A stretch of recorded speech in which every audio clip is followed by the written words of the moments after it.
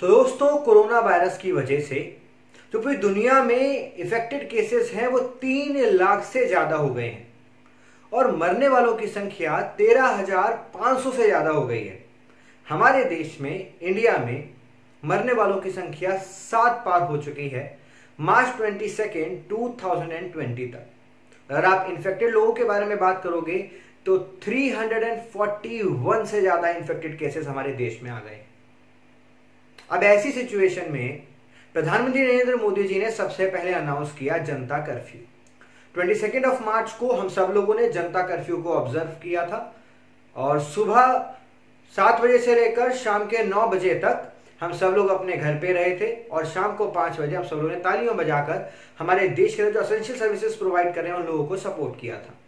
अब बहुत सारे राज्यों ने कोरोना वायरस को ध्यान में रखते हुए क्योंकि कोरोना वायरस को रोकने का भी एकमात्र सॉल्यूशन हम लोगों के पास है, वो है लॉकडाउन तो ये लॉकडाउन क्या होता है? क्या किसी सरकारी दस्तावेज़ में लॉकडाउन का ज़िक्र है? और इस लॉकडाउन के अंदर होता क्या है? कौन कौन सी सेवाएँ चलती रहेंगी? कौन कौन सी सेवाएँ बंद हो जाएँगी? ये एक बहुत बड़ा सवाल है आप लोगों के लिए जानना। गाइस सबसे पहले आप लोगों को समझना पड़ेगा कि लॉकडाउन होता क्या है? देखो state government important guidelines issue करती है किस एक्ट के अंदर? एपिडेमिक डिज़ीज़ एक्ट 1897 के अंदर।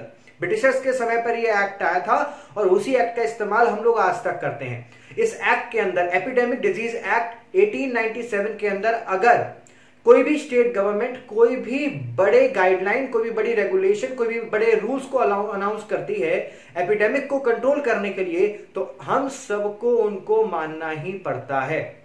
अगर नहीं मानोगे तो यहाँ पर इंडियन पीनल कोड के अंदर सजाएँ भी हो सकती है। आपको बताऊँगा कि अगर नहीं मानते हैं तो क्या क्या होता है। तो लॉकडाउन के अंदर सबसे पहले तो ये सारी की सारी चीज़ें होती हैं। जितने भी ऑफ़िस होते हैं कंपनीज़ होती हैं शॉप्स होते हैं मॉल्स होते हैं कैफ़े कम्युनिटी सेंटर वो सब बंद कर दिए जाते हैं।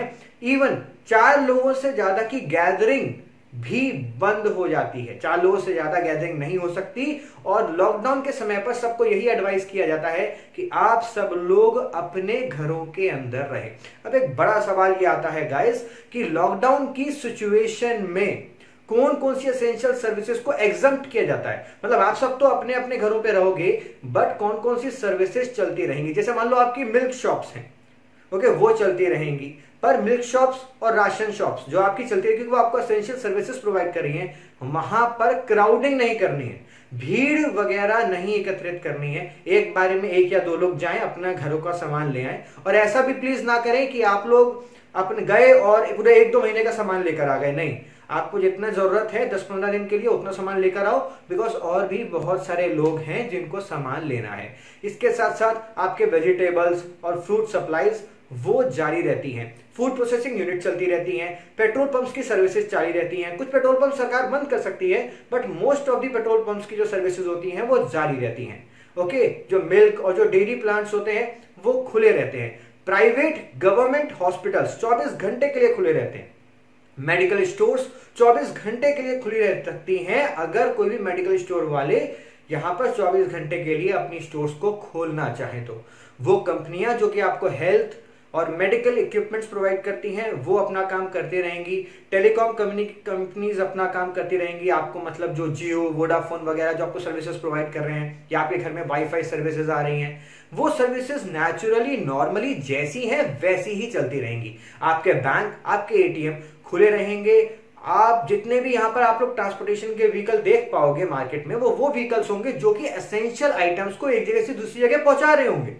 ठीक है? जैसे मान लो आपका एन मास्क है या आपका सैनिटाइजर है इन्हें भी एसेंशियल कम्युनिटीज एक्ट के अंदर डाल दिया गया है। तो अगर कोई इनकी सप्लाई कर रहा है तो वो ट्रांसपोर्टेशन व्हीकल चल सकता है। इसके साथ साथ गवर्नमेंट भी आप लोगों के घरों पे अगर चाहे तो राशन पानी का सामान पहुँचा सकती है। और एंबुलेंस सिस्टम को ऐसी सिचुएशन के अंदर बढ़ा दिया जाता है। अब एक सवाल आता है कि किन लोगों को अलाउ किया जाता है कि इस लॉकडाउन की सिचुएशन में भी वो लोग जाकर अपना काम करेंगे? ठीक है? अपनी ड्यूटी निभाएँगे। कौन है?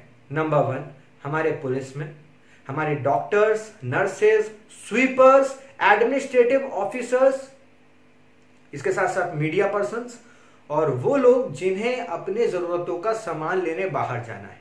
एडवाइस यही है कि अगर आपको बहुत ही ज़्यादा ज़रूरी सामान ना हो, आपका कोई ऐसा सामान ना हो जिसके बिना कोई काम नहीं चल सकता तो कोशिश करें कि आप अपने घरों से बाहर ना निकलें।